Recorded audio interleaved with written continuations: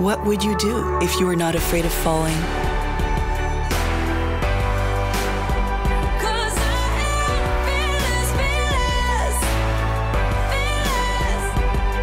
Never be afraid of falling.